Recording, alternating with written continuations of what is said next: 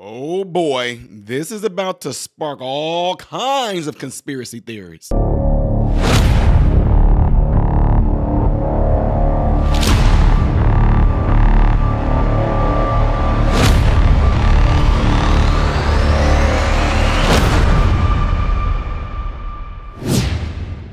Welcome to the channel, folks. I'm Ty Smith. You're watching my channel, Modern Renaissance Man. I really appreciate every last one of you taking time out of your day to view my content. Make sure you follow me on all the platforms you see listed up here and down here, if you would, please. All right. And don't forget, clicking this right here does not mean that you like my video or you like me. It means that you want more of my content that I post recommended to you.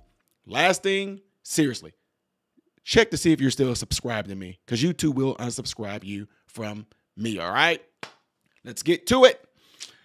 Oh boy, y'all, y'all, y'all know I told you guys as the summer heats up physically outside and you start to acclimatize to it, one thing that you most likely will not acclimatize to is the heat that's going to be coming politically.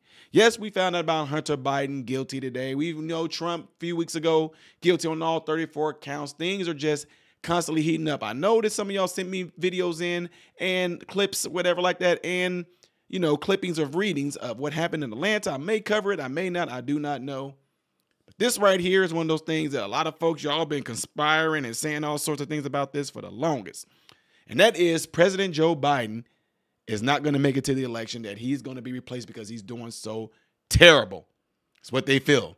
It's not just coming from people like on the right, it's also coming from people on the left. They're feeling like, oh man, Joe Biden is not doing it, man. We got to come up with something else. We're not able to really get Trump. You know, I'm not going to give too much of away. Check this out. Here with reaction, Harris poll chair Mark Penn, the host of Tomi Lahren is fearless. There's no such thing as a fearful Tomi Lahren anyway. On Outkick, Tomi Lahren. Uh, Tomi, let's get your take.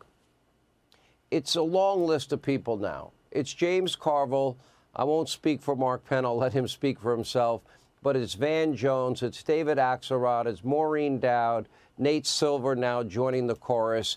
You have been saying, do you still believe 140 days out, you think they're going to replace Biden? I absolutely believe they're going to replace Biden. I believe it's going to happen either at the convention or shortly thereafter.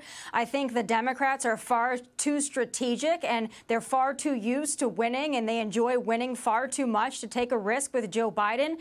And I know they took a risk in 2020, but when we look back at the debates in 2020 and we look at when he was newly elected, he was in far better shape then than he is now and he was slipping then. So I don't think they can possibly take that risk.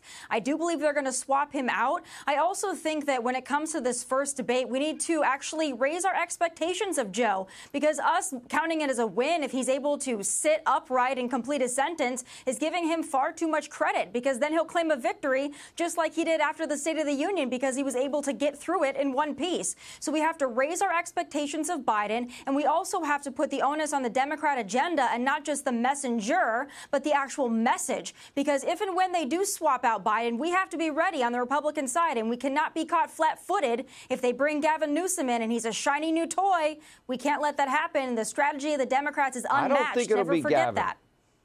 I think it would more likely be Whitmer if they have the ability to bypass uh, Vice President Harris. Um, Mark, can anybody really conclude anything else that smart Democrats like yourself, you really don't want Biden, do you? Well, I think I'll I'll defer that one per se, but look, I didn't think he was going to run. He decided to run, and you know what? He swept the Democratic primaries. These are his delegates. It's his convention. The idea that he's not going to be the nominee, I think, is a fantasy. I think the party is around him. I don't know why James said what he said. It's not really particularly useful at this point. The only thing I'll say is this well, debate. Well, Mark, you know why he June said what he the said. convention's a little risky. You know why he said it. Well, well what's the point of saying obvious. that now? You- He, it, it's obvious this guy is a mumbling, bumbling, stumbling, fumbling, you know, guy. He can barely string sentences together. However, I do take Tomi's admonition really seriously. I think we'll see the return of jacked up Joe. Whatever Joe drank, ate, took before the State of the Union, maybe it was just Red Bull and, and caffeine pills, I don't know. Whatever it was, that was not the normal Joe We never saw it before, and we haven't seen it since, but we will see it for the debate. Now, there are some even saying, Mark, that Donald Trump might be wise to just pass on the first debate, wait till he's nominated, then debate him. What would you say to that? Oh, I'd say he accepted it. He accepted it in the lion's den. I, if I were Donald Trump, I would have done some better negotiating here. But I don't think he can back out now without really looking uh, cowardly. And and I think Biden has, uh, you know, said he's going to meet the challenge. I think it's a big test. Whether he's whether you think he's jacked up or not, if he can get through that debate, he'll lift his campaign. And if he can't, I suspect it, it might actually be in some jeopardy. They might have actually, Joe might have done Donald Trump a favor. And I say this affectionately, Tomi, by insisting that when it's not his turn to speak, that they mute his microphone, because I think that was a mistake in the first debate in 2020. Your reaction? Well, I would uh, hope a lot of things for that first debate. Obviously, it's stacked against Donald Trump, and we know that. But I think Donald Trump has an incredible opportunity in this first debate to act more presidential than he's ever acted in his entire life. Push everything on Joe and Joe's failing agenda and his failed policies, which is the Democrat failed policies and agenda. If Donald Trump just sits back and he lets Joe talk himself into a corner, then Donald Trump will win that first debate. He just has to restrain himself, which I believe he can do, pull it in, act as presidential and dignified as possible, and he will win against Joe Biden and his failed policies. He simply can't stand on those, and quite frankly, he can't stand at all. All right, let me ask you this. If, in fact, Joe, for whatever reason, Mark Penn went out, um, Tomi's convinced it would be Gavin Newsom. I'm not sure. I, I, I don't think it would be Gavin. That's just my guess. Um, I have no inside knowledge except that he told me over and over and over and over again when I interviewed him and in the debate with Governor DeSantis that he wouldn't do it. Okay, so I think the most likely person, if it's not Vice President Harris, would be uh, Governor Whitmer. That's my take. Uh, people have floated the name of Michelle Obama. I don't think she's up to the job myself. Who would be the most likely Democrat? Who would you pick if you had to choose somebody? Well, again, you have to go through the history here. These delegates were nominated for this ticket. Harris, I think, would be the likely nominee if for some reason, any reason, Joe Biden had to remove himself. You could bet on that as almost a certainty. You think it would be Kamala Harris? Yes, absolutely. So, like I was saying, it's like uh, we're oof. Let's we got to think this through. What can we do? Uh, yeah. So I'm gonna just go ahead and jump on this little train a little bit of you guys that's on this conspiracy kick. Some of you guys are thinking that this is gonna be opportunity for Michelle Obama to get pushed in there. Some of you said, look, Obama and them have been increasing their fundraising in certain areas and all that, yada yada peanut butter. Now, guys, I keep an open mind about a lot of things. Michelle Obama said that she has no plans. you get it? She said she has no plans. Gavin Newsom said he has no plans on running for president. I think Joe Biden is great. He's brilliant. He's smart. He's wit. He's witty. He president, you know. So Michelle Obama said the same thing. She has no plans. It don't mean that something can happen to where it was unplanned that you ran for president. So that's what I'm saying. I get the conspiracies and all that, guys. I'm just saying, don't put it past it.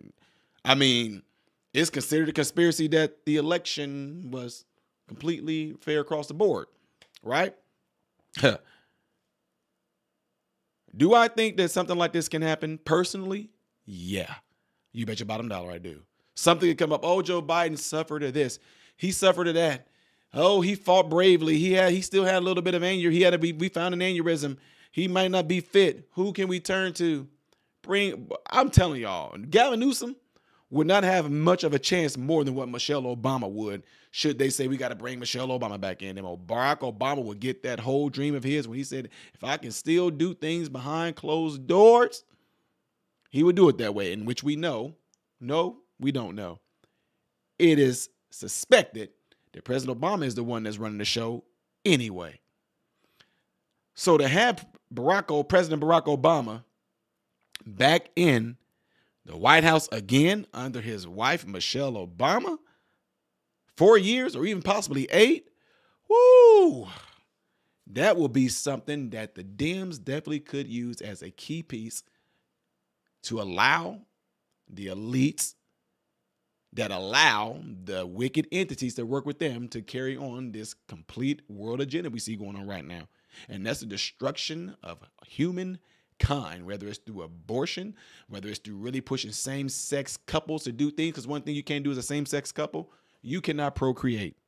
We can go and adopt. It doesn't matter. You can't procreate. You can't. You can adopt kids. You can freeze your eggs and have a man sperm. It does not matter as a married couple or even as a couple together, you won't be able to procreate. Same sex people can't. They won't. Purpose of it is that I mean the whole purpose of them doing this is because they entities they hate you. Yeah, they allow the, the, the elites. They'll continue to go on. Look, mark my words, y'all. Don't believe me? Go look it up. Go research it. The elites, they're going to continuously have traditional families, children, because they want them children to carry on what they're doing as well, running the world, running you. Plain and simple. Anyway, how did I get off on that question? Do you think that something is going to happen to Joe Biden to where he will be slid out of the way and then somebody like Michelle Obama would be put in there or Gavin Newsom? Who else do y'all think that they would probably try to put in place of President Joe Biden should something happen where they just say, okay, he's not fit? Because, guys, come on now. Look, folks, I know that some of you guys are Democrats, which is completely fine. I know we all don't see things the same way, which is why I love America. I'm glad that everybody's not like each other. I'm glad we all don't think the same. I'm glad we all don't see things the same way. That's I love that. I wouldn't want nobody being exactly like me. That would suck. Okay. With that being said, to my Dems or even anybody, you could be Republican. I don't even care. You could be independent. Doesn't doesn't even matter. Can we all agree that something is wrong with President Joe Biden? If so, you state what you think is wrong with him. Leave it in the comments below at this video. Before you guys get out of here, make sure you click that right there. I really appreciate it if you do it. And again, thank you for taking time out to view my content. Make sure you, if you uh, have a cell phone, to let somebody on your cell phone know about this channel. Encourage them to subscribe to this channel. If you have Instagram, Facebook, TikTok, any of those, DM somebody. That means give them a direct message and let them know about this channel. Encourage them to check it out and subscribe to it. All right. See you guys on the next one. I might do some music reactions today, guys, for Steve Travis. Yeah, I was gonna screw up. I'm not editing now. You guys know I am. I was gonna say I am doing some reaction videos, so make sure y'all stay tuned because I'm probably gonna post quite a bit of those because I missed May and I have June to make up for. So reactors, people who ever sent things in through Patreon, I got y'all. I'm Ty Smith, modern Renaissance man. I'm Horst. I had a debate, guys, and oh, it was so fun. Anyway, that's why my voice sound different. That's why I'm talking low. I'm Ty Smith, modern Renaissance man, hoping and praying that every last one of you have food, shelter, and clothing. Most of all I pray every last one of you guys are in great health mentally, physically, emotionally, spiritually. God bless you all through Jesus.